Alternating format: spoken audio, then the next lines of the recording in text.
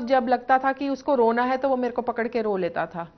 और एक जैसे दो साल का बच्चा हो जाता है, वो बिल्कुल वैसा ही हो गया दोबारा कि मतलब दवाइयाँ ऐसी थी, उसको कई बार समझ नहीं आता था। तो वो मेरी तरफ़ देखता था कि अब मैं क्या करूँ? ये मेरे को क्यों हो रहा है? मतलब एक बच्चा जब माँ की तरफ़, जो बच्चा बोल नहीं सकता, माँ की तरफ़ देखेगा कि क्या हो रहा है, क्यों हो रहा है, कैसे हो रहा है तो वही लुक्स उसकी दोबारा, जैसे दो साल का युवराज होता है, वैसे ही वो दोबारा बन गया।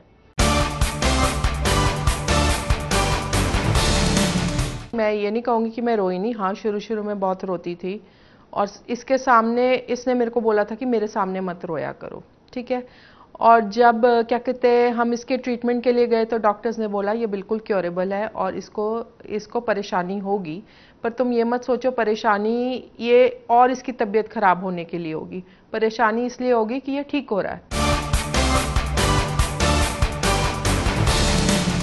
डॉक्टर से सबसे पहला सवाल यही था, मेरे बाल जाएँगे? हाँ जाएँगे। मेरे बाल आएँगे, डॉक्टर ने कहा, नहीं आएँगे तो मैं अपनी डॉक्टरी छोड़ दूँगा। मेरी लुक्स लुक्स भी वैसे ही हो जाएँगी। अब जब आपको पता है कि आपके शरीर में एक ऐसी चीज़ बैठी हुई है जो आपको ख़त्म करने के लिए बैठी हुई है, ठीक है?